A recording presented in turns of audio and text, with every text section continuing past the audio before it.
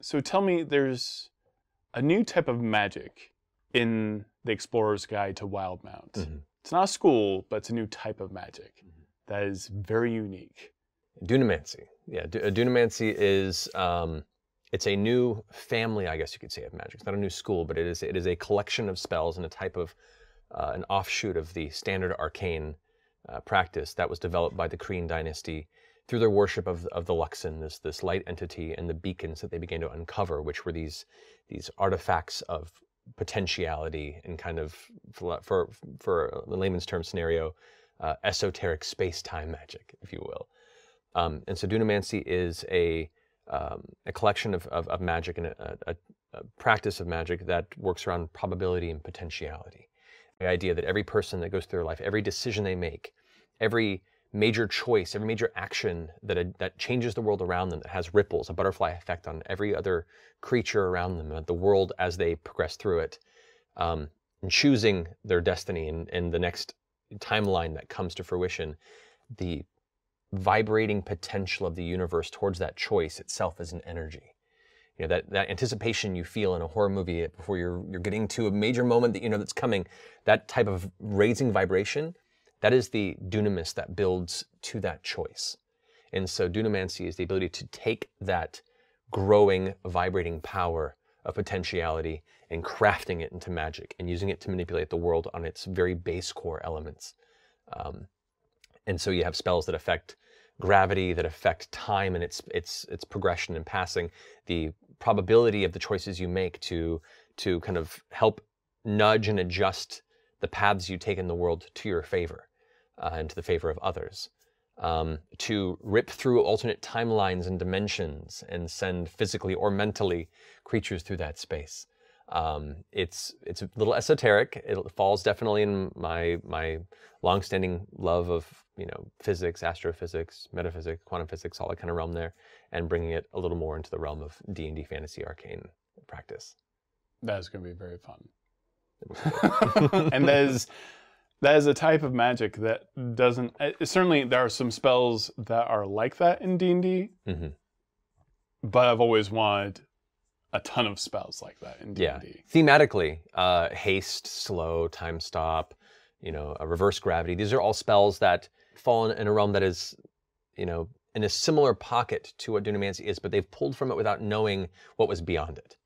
You know, you've dabbled in elements of time magic, but didn't realize that beyond that curtain, there was a whole subsect of magic that focused on these very basic elements of the universe. When you consider, you know, all of creation, you know, water, water is one of the basic elements, but water doesn't exist all over the universe necessarily, you know. Um, at the core, the very creation of, of the universe as, as we know it and a, a, a, a physical level in the real world, you know, gravity, time, uh, these are all things that are absolutely necessary and are ever present in all facets of creation. And so I wanted to kind of expand upon that very, very primal uh, basis of the universe for a lot of these spells and what they manipulate. To, to take it away from the more elemental aspects that classically D&D magic revolves around. And so that's kind of where the inspiration for Dunamancy came from and where that focus and the theming of the Kryn dynasty's um, you know, religious beliefs are based on. Can you tell me about some of the spells that are in there specifically? I can tell you about some of the spells in there. I know you can't tell me about all of them. I can't tell you about all of them. Um, those who are familiar with the, the show may have seen one of our characters, Caleb, has acquired a handful of Dunamancy spells through the adventure. Uh, one of which you'll see in here is Fortune's Favor.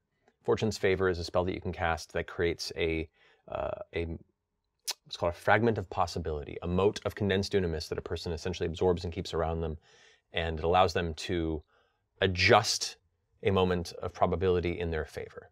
It essentially gives them the equivalent of a luck point, if you're familiar with the luck feat, but it's a spell granted uh, uh, luck point that lasts for an hour, if you will.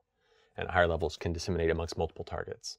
And so it gives you the ability to roll an additional d20 uh, for any sort of d20 roll for an attack, for an ability check, for a saving throw, and then choose the better of what's available.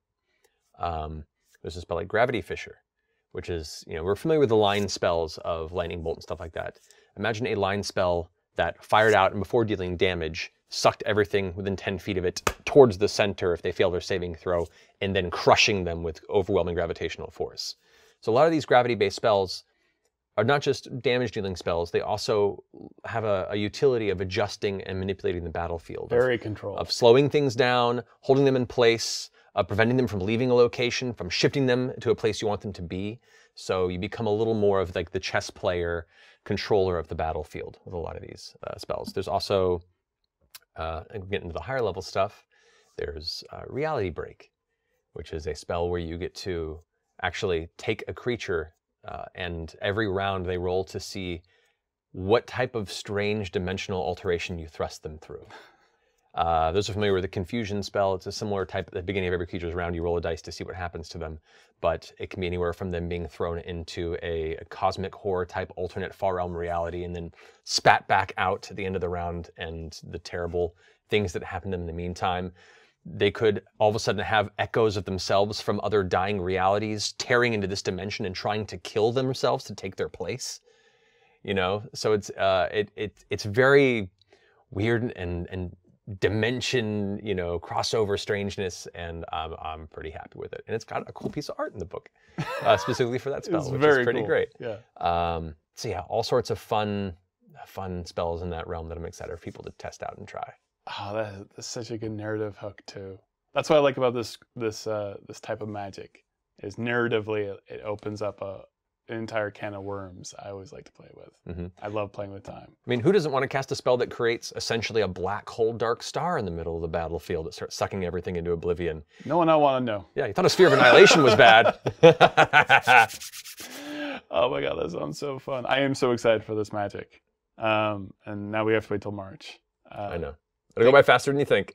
Trust me, time goes quicker these days.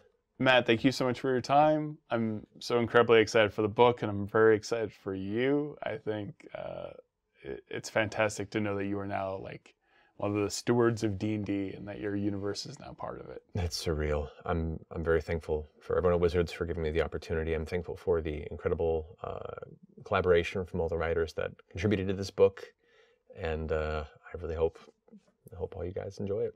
I'm, I'm really excited about it. Hope you are too. Pre-order now on dndbeyond.com and receive exclusive bonus content with everything that you need to start your own adventure.